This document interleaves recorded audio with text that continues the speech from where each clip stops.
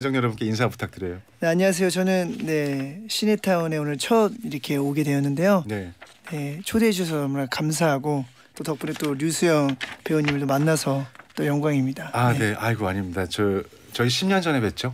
그 10몇 년, 더 지났죠. 한 14, 2000 5년? 14, 5년 전에. 더 이상 됐을 수도 있을 것 같아요. 맞아요. 네. 그때가 2000년도 중후반이었는데 학교 동문 행사 때 네. 사진도 같이 찍었는데 기억나세요? 아, 그럼요. 어. 그때 또 심수봉 선생님도 맞아요. 오시잖아요. 다 오, 오시고 박지성 선수는 오지 못했나? 맞아요. 저희 학교 동문 연정훈 선배도 왔었고 네. 아 맞아요, 맞아요. 음. 그래서 제가 그때 이후로 아 같은 대학교 동문이구나 이제 이런 생각을 네. 맞아요. 기억하고 있다가 이제 한 번씩 이제 괜히 대학교 얘기 나오면 이제 우리 명지대 누구 누구가 있다 할 때 항상 빠짐없이 제가 류 네. 감사합니다. 선생님이 얘기했던 기억이 아유 납니다. 감사합니다. 저도 준수 씨 그때 뵙고 나서 이렇게 학연 지연을 멀리 해야 되지만 네. 생각이 나잖아요. 그래서 네 맞아요. TBS 보면은 아 준수 씨 뮤지컬 새로 오픈하신 거 보면은 아 우리 학교 후배인데 이렇게 애정이 더 아, 가더라고요. 저도 매번 그랬습니다. 감사합니다. 아 우리 선배님인데 이렇게 하면서 우리 후배님 오늘 잘잘 부탁드리겠습니다. 부탁드리겠습니다.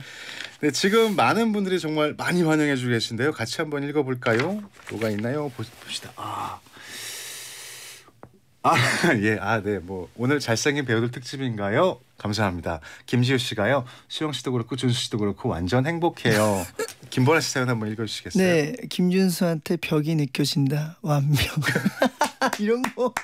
맞아요. 저도 진짜 아 예. 십수년 만에 봬도 그대로세요. 아우 아닙니다. 어떻게- 오히려 더 어떻게 그대로 저는 그냥 그때부터 노안이었기 때문에 아 네, 486 4368님 준수 씨 화창한 얼굴 덕에 겨울 건너뛰고 봄이 온 줄 알았어요. 저도 오늘 오랜만에 뵀는데 네. 너무 분위기가 밝으셔가지고 네. 되게 좋았어요. 아유. 감사합니다.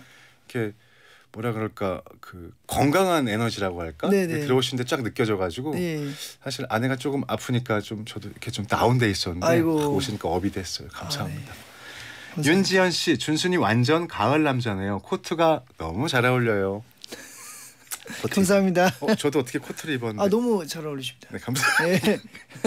오늘 갑자기 막 요즘 추워져가지고 네, 좀 처음에는 맞아요. 빠르나 싶었는데 네. 어, 추워서 일단 네, 코트가 입고 싶어지더라고요. 네, 저도 그 모직 코트 참 좋아해요. 네. 모직 코트. 저는 제가 좋아하는 그 겨울의 냄새가 있어요. 저는 겨울 하면 떠오르는 건 옷장에서 방금 꺼낸 모직 코트 냄새. 아, 저는 그게 겨울의 시작 같거든요. 예, 예. 그래서 모직 코트를 보니까 이제 아 가을이 지나서 낙엽이 떨어지겠구나. 준수 씨한테서 가을을 봤어요. 아유 감사합니다. 네. 어, 65 6951님이 17년 전 데뷔 때랑 너무 똑같아요. 그러니까요. 제가 86년생 동갑인데 어쩜 혼자만 그대로죠? 동안 비결 좀 알려주세요, 친구야. 이렇게 아. 보내셨는데 관리를 따로 하시나요? 그렇죠.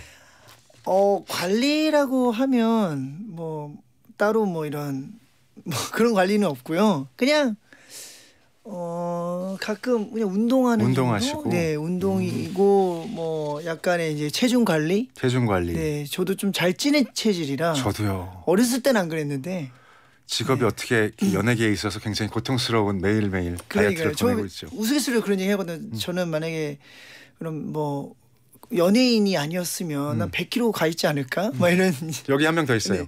먹는 기쁨이 있잖아요 맞아요. 아, 예. 아. 전또 요리하는 것도 좋아하니까 또 먹는 거는 무조건 좋아하거든요. 네. 맞아요. 열심히 운동하시고 관리하시고. 어 근데 데뷔한 지 벌써 17년이 되셨네요. 그러니까요.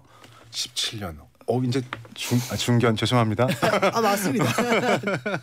저는 중견도 약간 지나가는 분위기거든요. 사실은 아유. 20년 넘어가니까 17년 그 연차를 좀 실감하실 때가 혹시 언제 언제 실 실감할 때는요. 아무래도 이제 뭐 저희 가수 음. 활동 한참 했을 때 그걸 보고 어 가수를 아. 꿈을 꿨다 하는 후배분들이 아 이제 대부분 많을 때 그런 네. 얘기를 들으면 맞아요. 아 내가 좀 시간이 많이 흘렀구나 그런 맞아요. 생각을 하는 것 같습니다. 맞아요. 저도 어젠가 이제 댓글에 SNS 댓글에 부산에서 제가 사인을 받았던 고등학생인데 지금은 아. 엄마라고 아, 그 맞아요. 그런 것도 네, 되게 그런 많이 걸 체감이. 되더라고요. 맞아요, 나 맞아요. 이제 두, 뭐 애가 둘이에요 하면서 뭐 음. 예전에 뭐 고등학교 때부터 좋아했는데 맞아요. 이런 거 보면 네 실감을 하죠. 예. 근데 그럴 때 보면 되게 따뜻하기도 해요. 그때 날 좋아하셨던 분이 또 가정을 이루고 여전히 나를 따뜻한 시선으로 어우. 보시는 게 보람찬 것 같아요. 맞아요. 네.